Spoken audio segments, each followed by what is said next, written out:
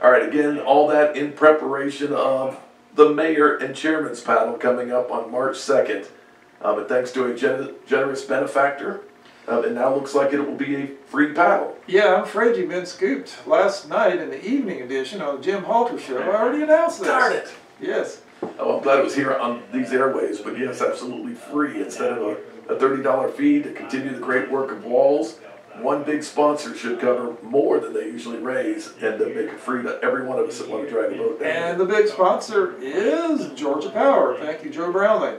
Thank you, Georgia Power, for your commitment to our natural resources, truly. Right, and they don't have to be the only sponsor. If your organization would like to sponsor, that goes to support the work of WWALS, which includes chainsaw paddles, it includes uh, water quality testing, it includes water trails, it includes trying to protect the Okefenokee Swamp and the rivers, it includes getting after trash. Oh, uh, sorry, Mayor.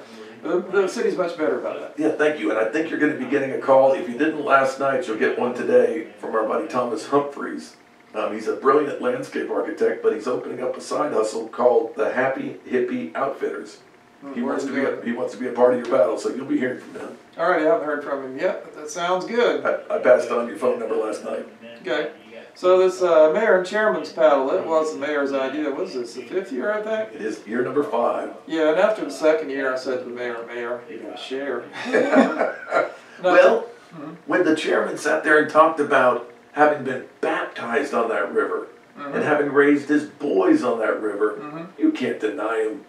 Uh, it became the mayor and chairman's paddle that minute that day. Yeah, that was at uh, Paddle, Georgia, 2019. 300 of our closest friends paddled by, and Wow. then the mayor, uh, chairman, uh, Bill Slaughter, agreed. Now it's the mayor and chairman's paddle, or the chairman and mayor's paddle, as I say when I talk to the county commission.